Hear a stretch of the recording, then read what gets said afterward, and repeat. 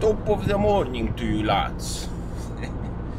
Believe it or not, I'm headed to other city for a rainbow trout fishing competition. There's a small part of the river that is between two dams and a fly fishing team managed to let uh, some rainbow trouts in that part of the river and they are making a little competition today. I never fished for rainbows because they don't live naturally here in Lithuania. So, uh, not sure what to expect. If you're watching this video, that means that I managed to catch at least a few fish, so that's good for me. And if you don't, well, you'll never know.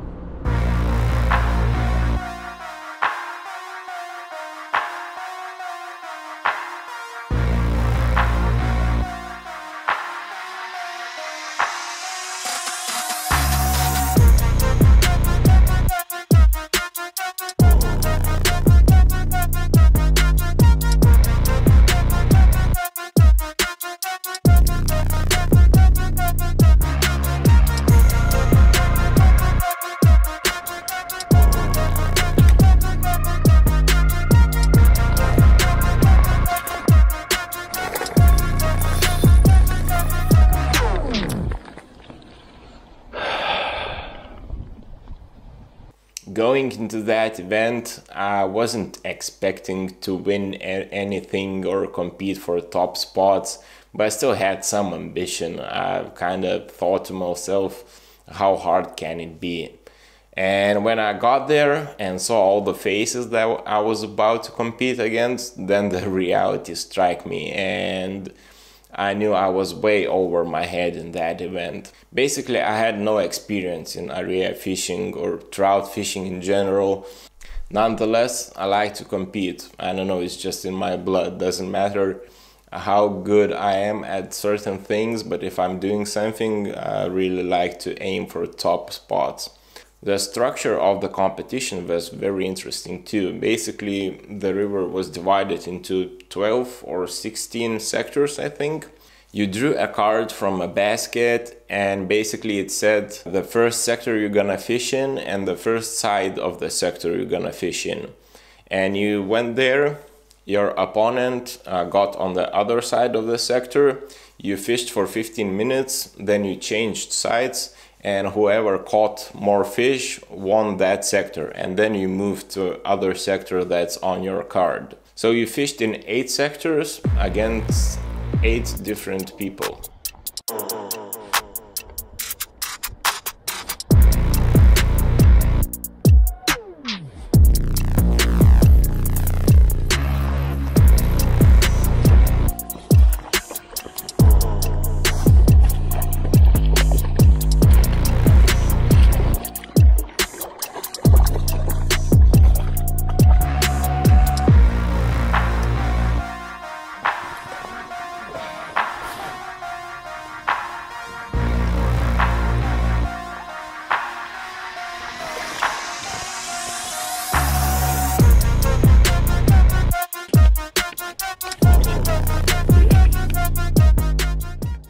managed to win my zone on the last seconds with one fish. Up to the next one. I lost my second sector by one fish and my third sector by one fish too. And all the five sectors that I fished later, we ended up with zero fishes, all of us. I got like three or four bites in my first sector and managed to land only one fish at the very, very end of the time. And later, throughout the day, just watching other guys fish, uh, I kind of understood what was my mistakes. Because I spent so much time fishing for salmon, I have this kind of pre-programmed feeling. Whenever I feel the bite, I'm lifting my rod up to set up the hook and for trout and area trout fishing with barbless hooks, this thing doesn't work at all. And after losing my first three fish, I started observe other guys fishing, and I kind of understood it that they were hooking the fish sideways and trying to keep the rod as low as possible and they're not pulling the fish with the rod they're only reeling the fish in and when i understood the whole concept it was kind of too late because later in the day i did not had any more bites going into that event i kind of predicted this that the fish would be active at first.